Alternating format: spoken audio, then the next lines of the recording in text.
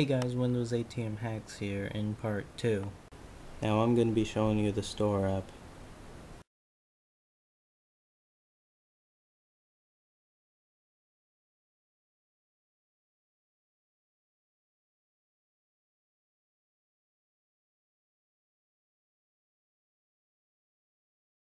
As you see to the top right, I have updates.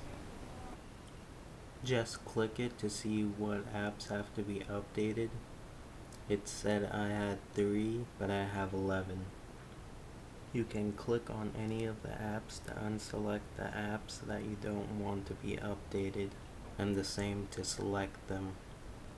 You can use the clear to unselect all the updates and select all for selecting them all. Just click install to update your apps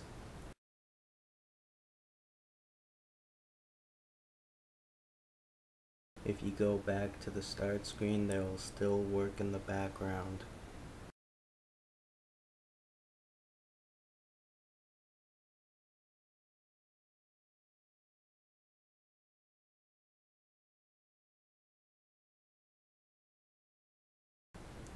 If you go back to store home, it will show you what apps are still updating. As you see, there are groups and when you click on the group name it will show you all the apps in that category.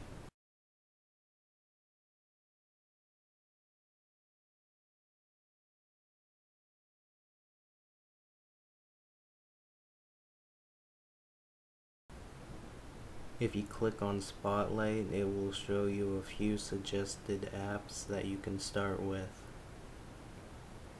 Just like in the start screen, there is a bar at the bottom to scroll with, and semantic zoom is in store as well. As you see, there are a lot of categories in store.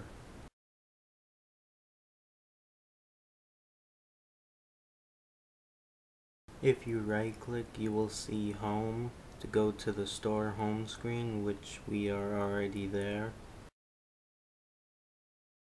and your apps and you will need to sign in to your Windows Live ID.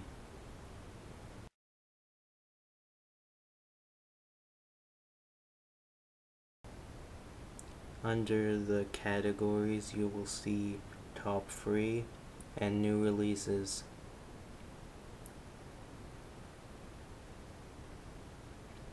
You can sort by all prices, free, and paid or noteworthy. Newest, highest rating, and more. There are a few apps that you can install. I'm going to be looking at Metro Twit. The install button is right there. And the permission to use is right here. If you click to view all, it will show you to the right.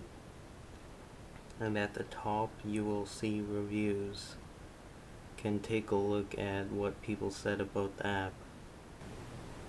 At the bottom of the image, it shows you how many images there are. And to the right of the image, you can take a look at the other images by clicking on the arrow. To the left there is an arrow to navigate back.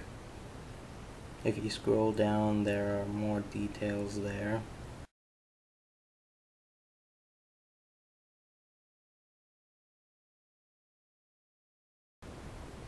You can search the store from the charm bar just like before.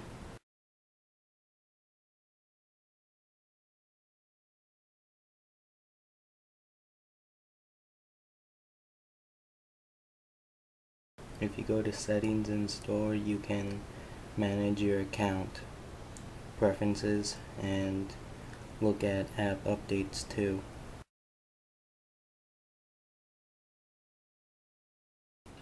Now let's go to the desktop. There is an icon to get to it.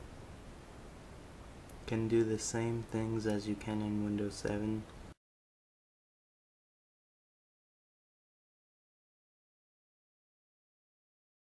if you go to the charm bar again you can search and it will bring you back to the start screen. And you can't share anything from here.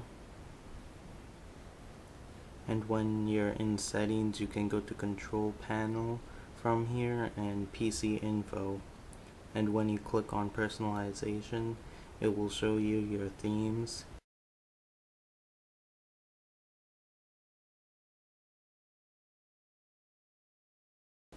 When you click on get more themes online, it will bring you to the Microsoft theme website.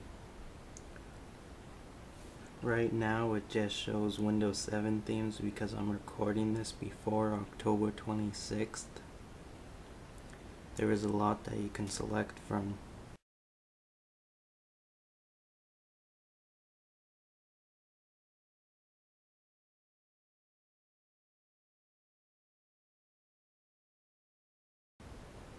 And when you look at PC info from the charm bar it will show you the important information about your computer.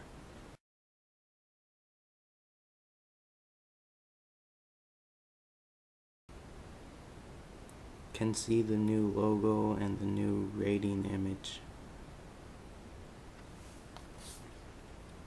You can still pin things to the taskbar just like in Windows 7.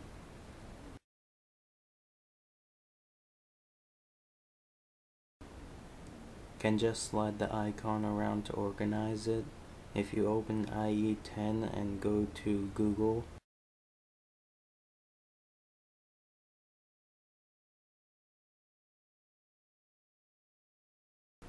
and just drag and drop the tab to the taskbar, you can see pin to taskbar. Just drop it and it will open a completely dedicated window for it as you see to the left the Google image is there. That is the new home button. To the right the home button is no longer there. You can just unpin IE from the taskbar now.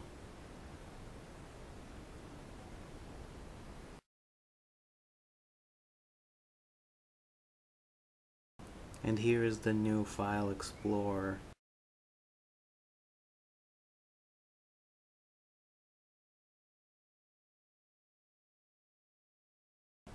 At the top left you can see File and all the other tabs. When you click on File you can open a new window, delete history, get help and close. When you click on Home you can see the new ribbon in Windows 8. You can do commands more easily with this when you go to view you can change how you see things and to have the new ribbon show all the time just click on the arrow to the top right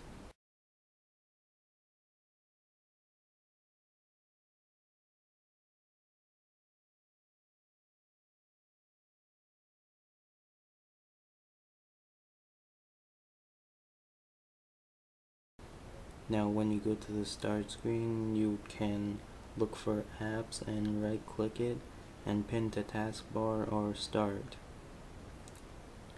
Or open it in a new window, run it as administrator and open the file location. I'm going to pin Media Center and Player.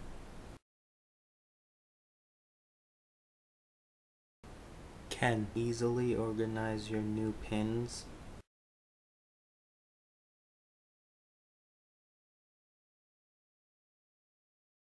And yeah, that's it for this video. If you watched part 1 and 2, thank you. This has been brought to you by Windows 8 TM Hacks. Like, comment, and subscribe.